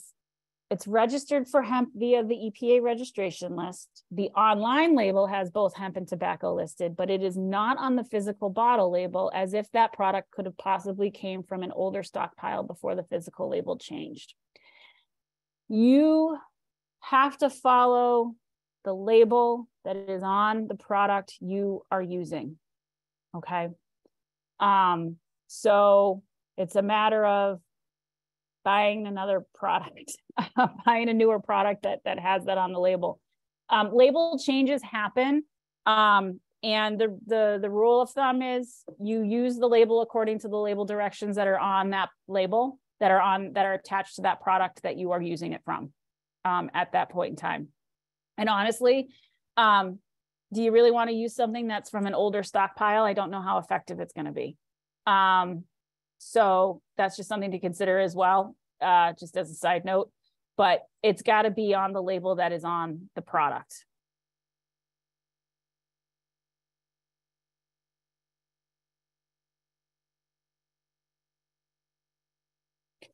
Can a product that is not EPA registered, but has the same active ingredient of an EPA registered product be used as a rooting nutrient.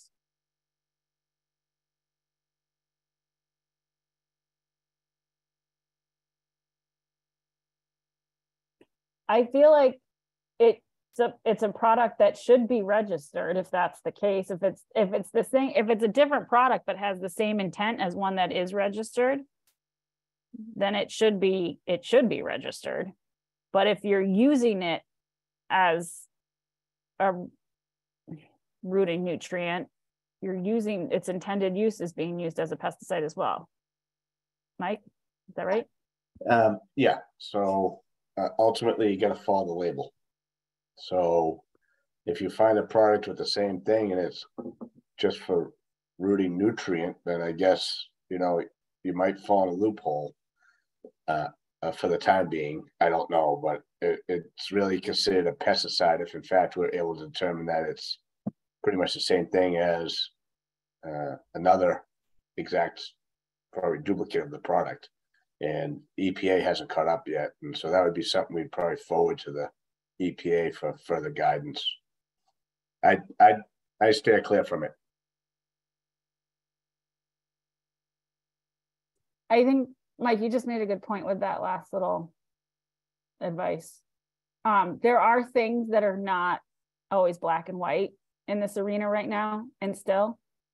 And as much as we can, um, we're gonna suggest, uh, in order to make sure that you're covered, because the ramifications of a violation are pretty hefty, um, stick with, stick with, stick with, stick with the black and white as much as you can. Um, and, and getting into these gray areas. And we're, you know, we're here to help navigate through that for sure. Um, but, you know, there are some gray areas still and, and, and all of that. And we want to make sure that folks are staying on the right side here so that there, you know, there aren't any violations that could, you know, at some point down the line severely impact, impact you all. Is there a database where we can access all regulatory literature for cannabis for free, CMR, NFDA, et cetera? So, um, our website, so our statute and our CMRs are all on our website. So 132B and C and 333 CMR are on the Department of Ag's website. You can access those. Um, and then, um, as I mentioned before, we have the policy and the guidance documents on the pesticide programs um, webpage.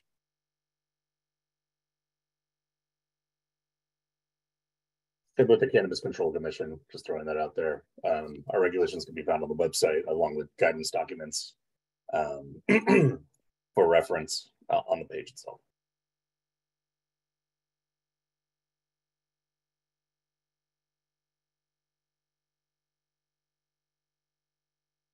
Are there restrictions on cleaning and disinfecting chemicals to be used on tools, equipment, surface, et cetera, even if they have an EPA registration number?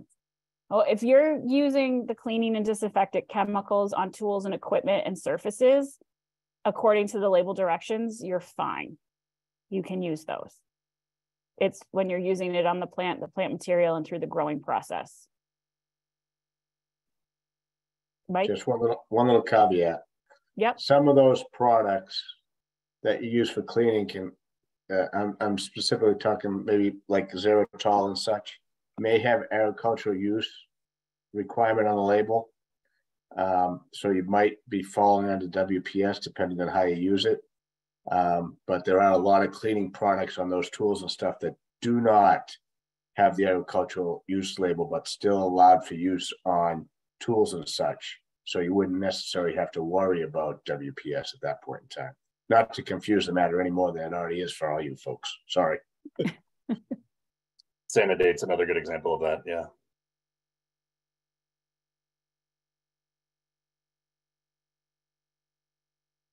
do SDS sheets need to be kept with products or is a separate log acceptable? Um, I think a separate log is acceptable. Um, you know, a lot of times what we'll see is we'll have record keeping in one sort of book, and then we'll have the labels and the SSDS sheets, like a separate label book from labels that you've printed off online um, or made copies of, um, and the SSD SDS sheets in another book. Um, that's that's totally fine. However you want to keep them. We just suggest that you make sure that they are available um, for anybody that would like to see them.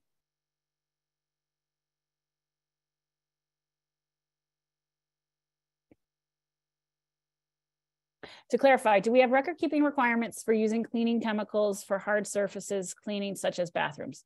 No, you do not need to keep record keeping um, for when you clean your bathroom or your, you know, break room or your lunch room. That's fine. It's when you're using the cleaning um, chemicals like during the agricultural sort of for, for the agricultural purposes.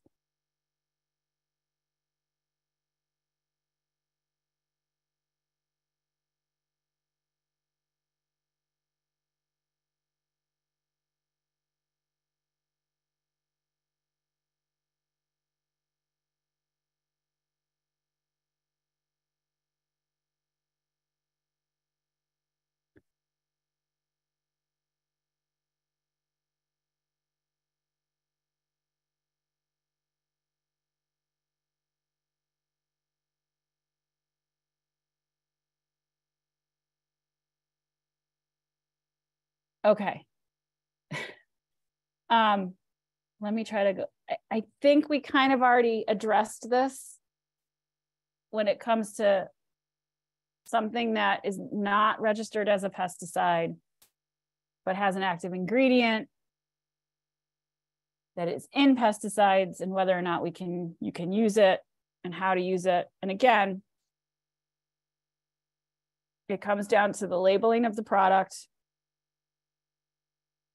whether or not it falls underneath the definition of a pesticide and EPA determines it has to be registered. And then what you're intending, what your intended use is. The, the, the, the cloning stuff and the plant growth regulators are tricky, guys. Um, those are the tricky ones, which if they're, and I would just say this, if you have a question about a particular product, just reach out to us.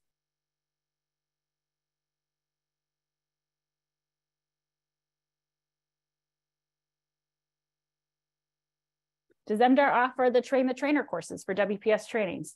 Um, we do here and there. They're not, we don't have them all the time. Um, there is a training that you can take online though, um, which I'm assuming Lori will go over tomorrow. Um, so if you don't get it from us or from UMass Extension or from, um, you know, somebody else that is authorized to offer a train the trainer course, um, you can go online and, and take a train the trainer course, or you can get certified. How many credits do you typically get with a course? Uh, I'm assuming you're talking about the continuing education credits. Uh, so one credit is 50 minutes. So typically it's an hour. Um, in some cases, you might have an entity offer a two hour class. Uh, so for example, UMass Extension usually has me come in and do a two hour laws and regs course. Um, but typically it's a, it's about an, usually folks offer like hour courses.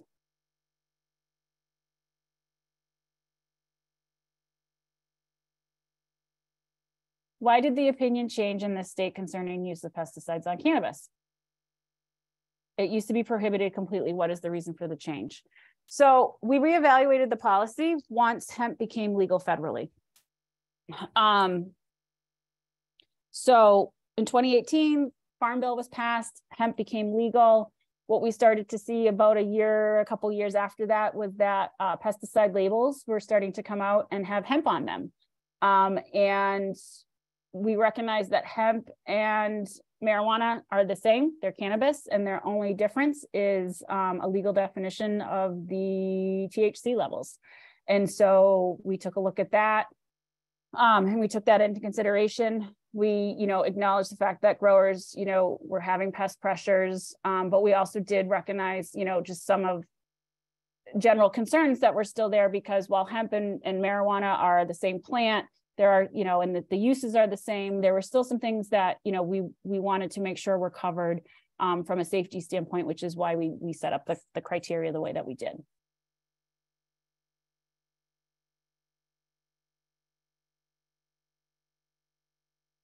How about natural products? For example, neem oil or neem meal as a pesticide. They may not be listed as a pesticide, but will be used as a pesticide. Neem, neem oil actually is a, I believe, a, I think there are actually registered products with neem oil in them. Um, again, if you're using it as a pesticide, then you should be using, and we know that there's neem oil out there that's actually registered for that use, you should be using the registered products.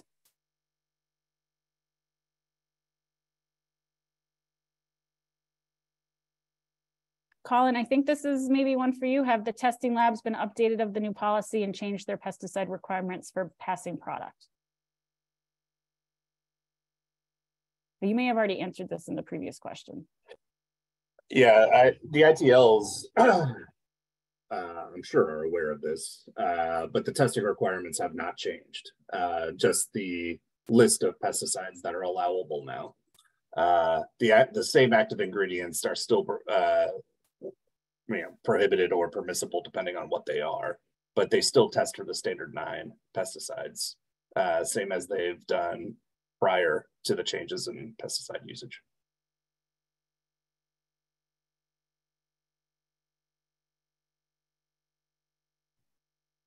Is isopropyl alcohol considered a pesticide? A product we use is made up of ingredients from the 25B list aside from the alcohol.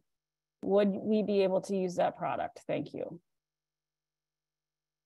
If the no, no.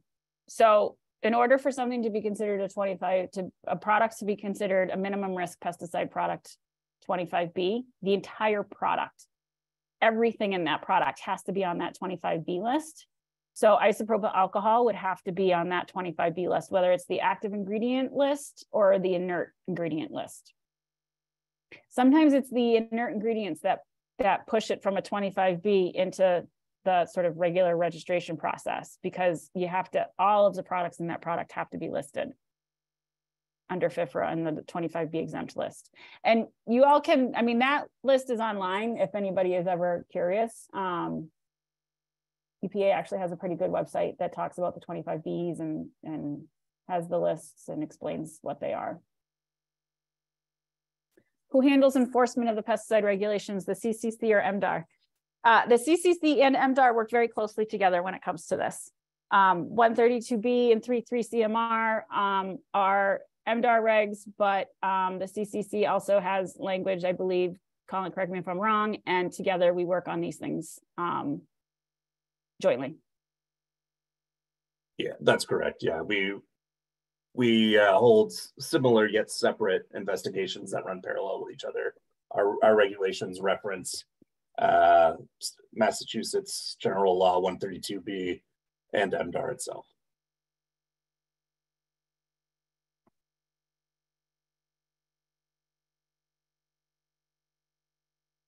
Is there a certificate provided to folks who take the WPS training?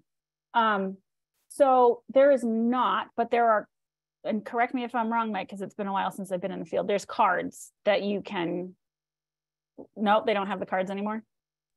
Yeah, I, I don't think you can, I don't think Lori can get the cards anymore. Um, Okay. it's really, what has to happen is, um, record, records are required of the training being kept by the trainer. Um, and if they choose to give a certificate out, that's fine. Uh, what we've found in the past is that when you have, um, workers uh, sort of going from one employer to another, that employer doesn't want to accept that WPS training, uh, doesn't want to accept that liability, so redoes the training all over again. And I think that's an actual requirement nowadays anyway, but I, I can't be certain off the top of my head. So there isn't any card um, that they run around with anymore, at least none that I've, that I don't think she can get a hold, hand of anymore. Okay, thanks. So record keeping and also um, when we do do the worker protection standard inspections, because there are inspections that enforcement staff does relative to WPS, um, we do interview workers to make sure that they actually have been, they have gone through the training.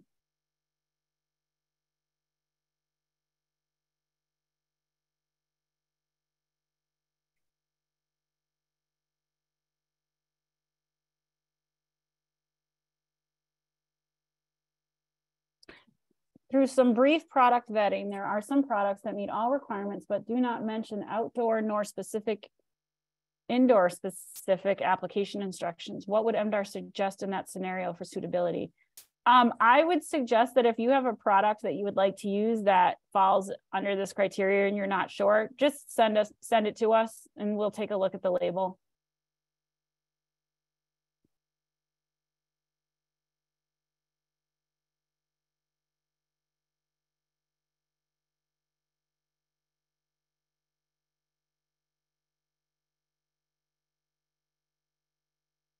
With the WPS regulations, what if you had previously held your applicator's license for greenhouse and then went through the UMass training courses, but your license is expired?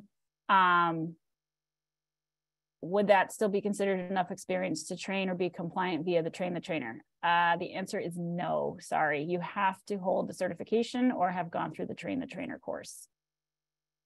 You actually have to hold the certification if you're giving the training or have gone through the train the trainer course. I think you have to go through the train the trainer course so many years. Um, I don't think it's every year, but I think it's so many years you actually have to like re-up on that training.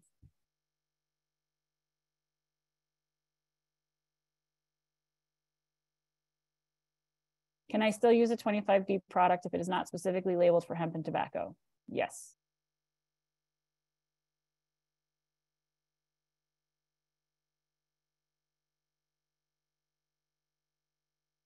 Are rooting hormones looped into the plant growth regulators? A bit confused if that was already answered or not. Mike?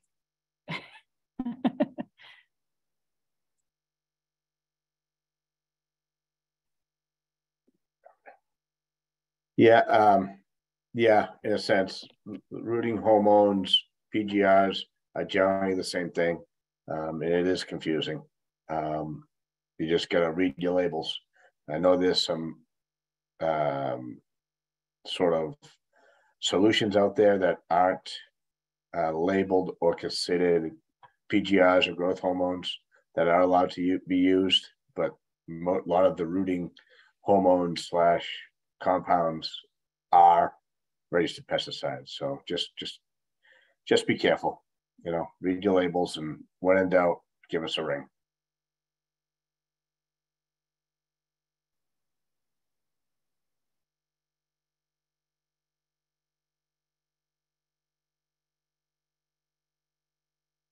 Okay, I do just want to go back and clarify something relative to the regs and the laws. Um, so we work very closely with the CCC, as Colin said, we run, you know, investigations together. Um, the CCC has their rules and regs, we have our rules and regs. We enforce, we have the jurisdiction to enforce 132B and 333 CMR. So that's, that's where we are, but we run our investigations um, again together and the CCC has their rules and regs that that they have the authority to enforce. Just want to make sure that make that clear. Can I use diatomaceous earth? It is listed as a 25B under federal law, but has an EPA number. Um, if you're using diatomaceous earth for pest control, you need to be using the one that has the EPA registration number, and then you need to be making sure that it checks all of the boxes that we have listed earlier.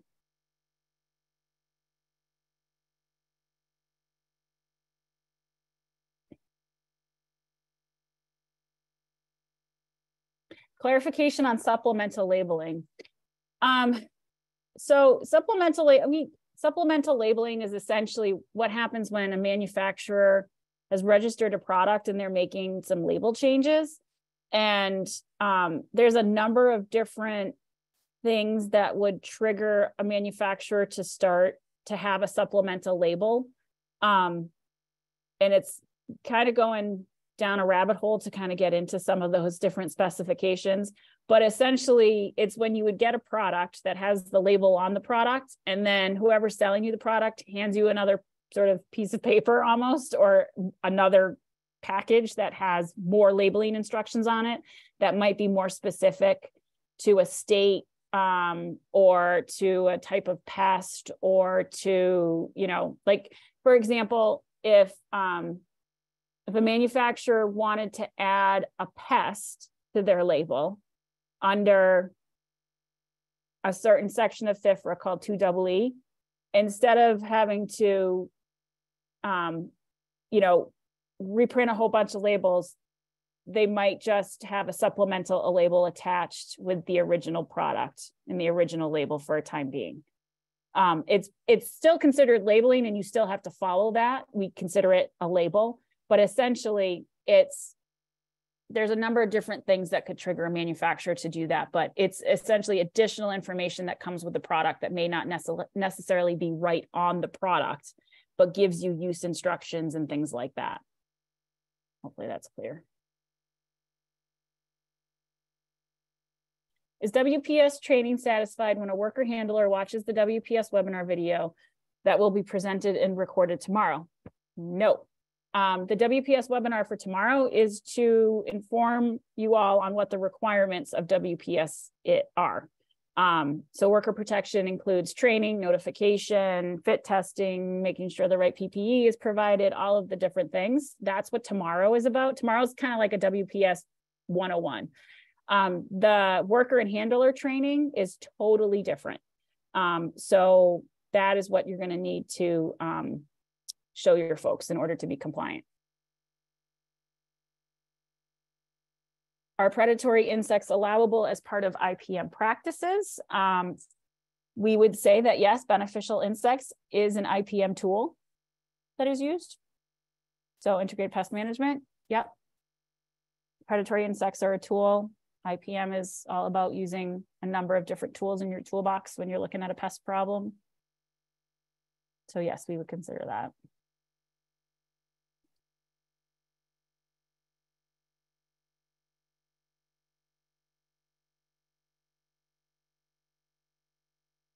Why, when there is proof on IBA three that it is harmless and even used in other food crops, Mass continues to restrict it.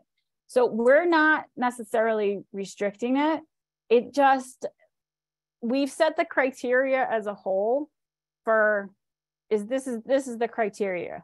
And so it doesn't fit into that criteria right now. And so it's not that we are quote unquote restricting it. It's just it doesn't fit into the criteria that we've set forth for any type of pesticide that is going to be used on marijuana. Um, you know, there there the reason why we had, you know, so hemp was what sort of started the ball rolling. We added tobacco into this. We want tobacco to be on the label because we are we realize and we understand that um, uh, you know, marijuana is smoked and we want to make sure that we're covering that base and any issues with inhalation. Um, you know, there's all of these different things that have come into play for the decisions that we've made. Um, of which, you know, if you guys take a look at the policy, we tried to kind of give a little bit of an explanation as far as how we got to where we are and and and sort of the decisions that we made in our policy. Um, but IBA three, it's it's just it's it's it's not just a mass thing, you know, it's it's a whole big world of uh, decision making and requirements and rules and regulations that come into play.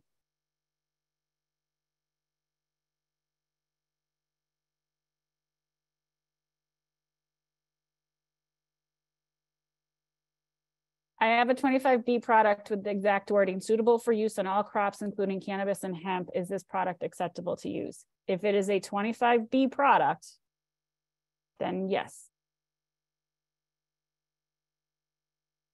If it's a 25B product.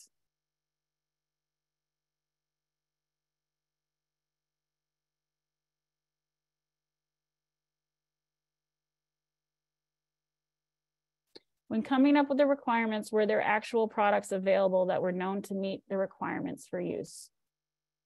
Um, yes, we did take a look at some labels um, and knew that that was the option, that there was stuff. We also knew that this was a growing that the that this was that the list of products that folks were going to be able to use would be growing because you're going to find more and more products that have hemp on the label. Um, so you know we knew that even if it started off with a small population of products over time the number of products that folks are going to be able to use would likely be growing And I think when they when EPA first came out with their list online, I think it was just a list of maybe 40 and I think they're up to like 90 now. And I know that's only one piece of the criteria, but just to sort of, you know, give you an example.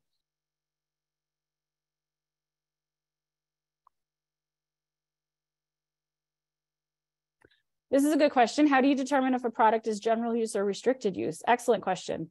Um, if it's general use, uh, um, actually let me let me let me go back. Uh, if it's restricted use if it's federally restricted you're going to see something that on the label that says this is a restricted use product. If it is state restricted you are not going to see that um, because that just gets done uh, on paper. However you should not be able to purchase a restricted use product whether it's federally or state restricted unless you have the proper licensure so anybody that sells a restricted use product actually has to be licensed with the department and they are not allowed to sell a restricted use product to somebody unless they have the proper license. Um, so that is another way that you're gonna be able to know is that if you don't have a license, you won't be able to get hold of it. Also, if you use that Kelly registrations link, um, it will tell you whether or not it's general use or restricted use.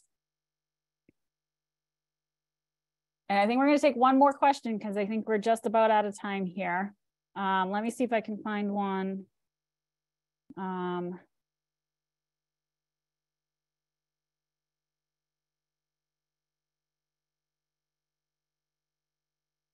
let's see.